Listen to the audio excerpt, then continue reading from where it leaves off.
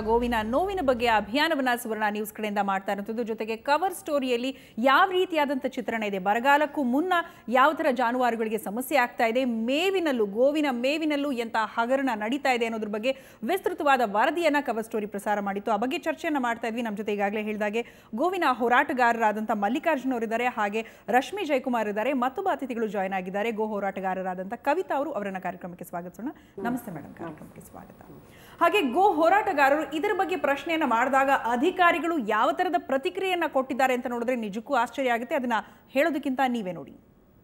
ಇಡೀ ರಾಜ್ಯದಲ್ಲಿ ಇಡೀ ರಾಜ್ಯದಲ್ಲಿ ಎಷ್ಟು ಘೋಷಣೆ ನಡೆಸ್ತಾ ಇದ್ದಾರೆ. ಯಾರು ಖಾಸಗಿ ಅವ್ರು ಕೊಟ್ಟಿದ್ರೆ ನಾನು ಇವತ್ತೇ ರಿಸೈನ್ ಮಾಡಿ ಹೋಗ್ಬಿಡ್ತೀನಿ. ಇವತ್ತೇ ರಿಸೈನ್ ಮಾಡ್ಬಿಡ್ತೀನಿ ತಾಲೂಕ್ ದಂಡಾಧಿಕಾರಿ ನಪುಂಸಕ ಅಂತಾನೆ. ಯಾರು ಇವನು? ರೈತ ಯಾವನಾರು ಮಾತಾಡ್ತಾನೆ ಇಪ್ಪತ್ತೈದು ಎಕರೆ ಇದೆ. ಪೆಟ್ರೋಲ್ ಬಂಕ್ ಇದೆ. ರೈತನೇನ್ರಿ ಇವರು?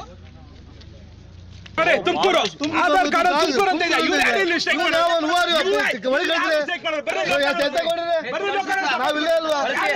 ತುಮಕೂರಲ್ಲಿ ಹೆಂಗ್ರಿ ಇವರು? ಸರ್ ರೈತರುಗಳೆಲ್ಲ ಸಪಾಟಿ ಬಂದ್ ಸರ್ ಫುಲ್ ಅಲ್ಲಿ ಬನ್ನಿ ಸರ್. ಅಲ್ಲ ಒಂದು ಒಂದು ಸಾರ ಇಲ್ಲ ನಪುಂಸಕ ಅಂತ ನನ್ಗೆ ಎರಡು ಮಕ್ಳವೆ. ಇವ್ರು ಯಾವನ್ ಹೇಳಕ್ಕೆ? ಮೇವಿಲ್ಲದೆ ಗೋವುಗಳು ಸತ್ತು, ನಾಯಿ ನರಿಗಳ ಪಾಲಾಗ್ತಾ ಇದೆ. ಇಂತಹ ಪರಿಸ್ಥಿತಿಯ ಬಗ್ಗೆ ಈ ಹಗರಣ ಈ ಥರ ನಡೀತಾ ಇದೆಯಲ್ಲ ಅಂತ ಧ್ವನಿ ಎತ್ತಿದ್ದಕ್ಕಾಗಿ ಸಿಕ್ಕಂತ ಪ್ರತಿಕ್ರಿಯೆ ಈ ರೀತಿಯಾಗಿದೆ. ಇದ್ರ ಬಗ್ಗೆ ಮಾತು ಚರ್ಚೆನ ಮುಂದುವರಿಸೋಣ. ಈ ರೀತಿ ಹಗರಣಗಳು ನಡೀತಾನೆ ಇದೆ ಮೇಡಮ್ ಗೋವಿನಲ್ಲೂ ಈ ಥರದೊಂದು ಹಗರಣ ಮಾಡ್ತಾರೆ. ಆ ಗೋವಿನ ಮೇವಿನಲ್ಲೂ ದುಡ್ಡನ್ನು ಹೊಡೆಯೋದಕ್ಕೆ ಪ್ರಯತ್ನ ಪಡ್ತಿದ್ದಾರೆ ಅಂದರೆ ಈ ಥರದ ಅಧಿಕಾರಿಗಳಿಗೆ ಏನು ಹೇಳಬೇಕು ಅಂತ ಪದಗಳೇ ಸಾಕಾಗೋದಿಲ್ಲ. ಯಾವ ಥರ ಹೋರಾಟ ಮಾಡ್ತಿದ್ರೆ ನಿಮಗೆ ಯಾವ ಥರ ಅಡೆತಡೆಗಳು ಆಗ್ತಾ ಇದೆ ಮೇಡಮ್ ಸರಿ ಅಪ್ಡೇಟ್ ಕೊಡ್ತೀನಿ ಮೇಡಮ್ ನಾವು ಡಿ ಸಿ ಹತ್ರ ಹೋಗ್ಬಿಟ್ಟು ಒಂದು ಲೆಟರ್ ಕೊಟ್ಟಿದ್ವಿ. ಆ ಲೆಟರಲ್ಲಿ ನಾವು ಟ್ವೆಂಟಿ ಸೆವೆನ್ ಗ್ರಾಮ ಪಂಚಾಯತ್ ಹೆಸರು ಬರೆದಿದ್ವಿ. ಈ ಗ್ರಾಮ ಪಂಚಾಯತಲ್ಲಿ ಒನ್ ಪಾಯಿಂಟ್ ಸಿಕ್ಸ್ ಲ್ಯಾಕ್ಸ್ ಹಸು ಇದೆ. ಈ ಕ್ಷೇತ್ರ ಬಗ್ಗೆ ಸ್ವಲ್ಪ ಹೇಳಬೇಕು. ಕೊಳ್ಳೇಗಾಲ ಥರ ಕ್ಷೇತ್ರ ಇಡೀ ಭಾರತದಲ್ಲಿ ಇಲ್ಲ. ನಾವು ನಾರ್ತಲ್ಲಿ ನಮ್ಮ ಕಾರ್ಯಕರ್ತರು ಇದ್ದರೆ ನಾವು ಹೇಳ್ತೀವಿ, ಒಂದು ಒಂದು ಮನೆಯಲ್ಲೂ ಐವತ್ತಿಂದ ಜಾಸ್ತಿ ರಾಸಿದೆ ನಾವು ಕೇಳಿದರೆ ಯಾಕೆ ಇಷ್ಟೊಂದು ಇಷ್ಟೊಂದು ಇಟ್ಟಿದ್ದೀರಾ? ಅವ್ರು ಹೇಳ್ತಾರೆ, ಇಲ್ಲಮ್ಮ, ಮುಂಚೆ ಐನೂರು ಇರ್ತಾ ಇತ್ತು. ಈ ಕಮ್ಮಿ ಇವ ಅವ್ರಿಗೆ ಐವತ್ತು ಕಮ್ಮಿ ಇದೆ. ಈ ಥರ ಒಂದು ಸಂಪ್ರದಾಯ ಪದ್ಧತಿ ಅಲ್ಲಿಂದ ಸೆಂಚುರೀಸಿಂದ ಬರ್ತಾ ಇದೆ. ಸೊ ನಾವು ಟ್ವೆಂಟಿ ಸೆವೆನ್ ಗ್ರಾಮ ಪಂಚಾಯತ್ ಹೆಸರು ಡಿ ಸಿ ಬರೆದು ಕೊಟ್ಟಿದ್ವಿ ಅಸಿಸ್ಟೆಂಟ್ ಕಲೆಕ್ಟರ್ ಬರೆದು ಕೊಟ್ಟಿದ್ವಿ. ನಮ್ಮ ರಿಕ್ವೆಸ್ಟ್ ಇತ್ತು ಸರ್ ನಾವು ಗ್ರೌಂಡ್ ಸಿಚುವೇಶನ್ ನೋಡಿದ್ದೀವಿ. ತುಂಬ ಕ್ರಿಟಿಕಲ್ ಇದೆ. ಎಪಿಡೆಮಿಕ್ಸ್ ಬ್ರೇಕ್ ಆಗುತ್ತೆ. ನೀವು ದಯವಿಟ್ಟು ಇಲ್ಲಿ ಫಾ ವಿದೌಟ್ ಎನಿ ಡಿಲೇ ಫಾರ್ಡರ್ ಸ್ಟೇಷನ್ಸನ್ನು ಹಾಕಿ. ಒಂದು ಗ್ರಾಮ ಪಂಚಾಯತಲ್ಲಿ ಒಂದು ಸೆವೆನ್ ಟು ಏಯ್ಟ್ ಹಳ್ಳಿ ಬರುತ್ತೆ.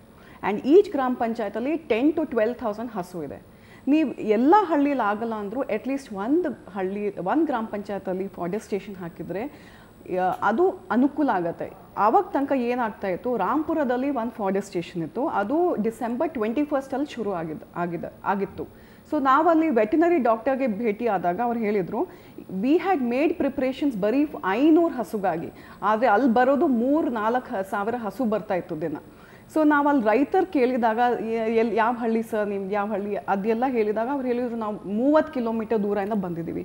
ಹೇಗಪ್ಪ ದಿನ ನೀನು ಮೂವತ್ತು ಕಿಲೋಮೀಟರ್ ಅಪ್ ಆ್ಯಂಡ್ ಡೌನ್ ಹಸು ಜೊತೆ ಅಪ್ ಆ್ಯಂಡ್ ಡೌನ್ ಮಾಡ್ತೀಯಾ?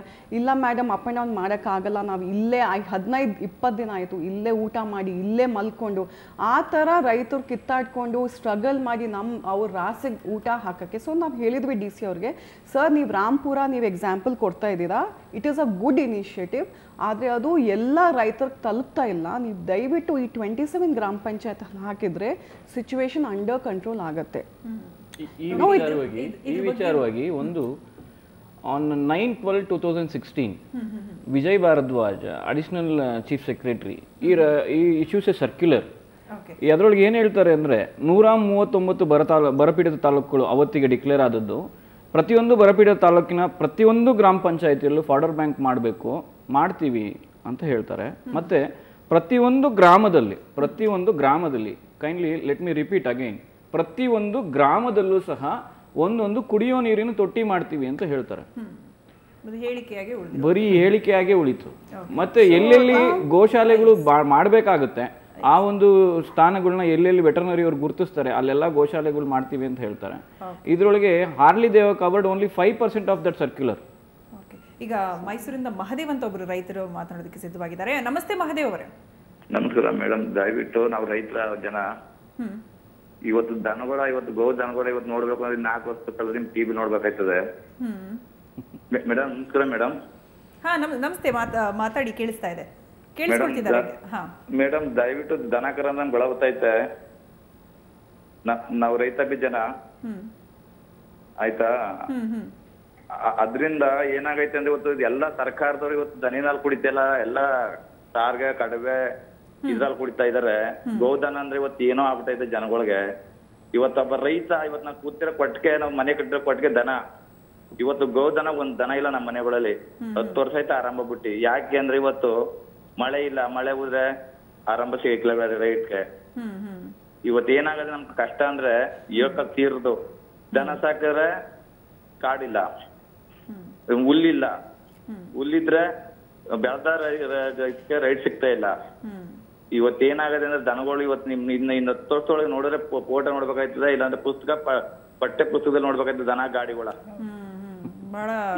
ಸತ್ಯವಾದ ಮಾತು ನಿಜವಾಗ್ಲು ಪರಿಸ್ಥಿತಿ ಇದೇ ಥರದ್ದು ಮುಂದುವರೆದ್ರೆ ಖಂಡಿತ ನೀವು ಹೇಳಿದಾಗೆ ಆಗೋದ್ರಲ್ಲಿ ಆಶ್ಚರ್ಯನೇ ಇಲ್ಲ. ಕರೆ ಮಾಡಿದ್ದಕ್ಕಾಗಿ ಧನ್ಯವಾದ ಮಹಾದೇವ್ ಅವರೇ. ನಿಜಕ್ಕೂ ಇವ್ರು ಹೇಳ್ತಿರೋದು ಸತ್ಯ ಅಂತ ಅನ್ಸುತ್ತೆ. ಇನ್ನೊಂದಷ್ಟು ದಿನಗಳು ಹೋದ್ರೆ ನಾವು ಬರೀ ಚಾರ್ಟ್ಗಳಲ್ಲಿ, ಫೋಟೋಗಳಲ್ಲಿ ಅಥವಾ ಯೂಟ್ಯೂಬಲ್ಲಿ ಈ ಥರ ಇತ್ತಂತೆ ಒಂದು ಪ್ರಾಣಿ ಅಂತ ನೋಡೋ ಕಾಲ ಬಹಳ ಸನಿಹದಲ್ಲಿ ಇದೇ ಚರ್ಚೆಯನ್ನು ಮುಂದುವರಿಸ್ತೇವೆ.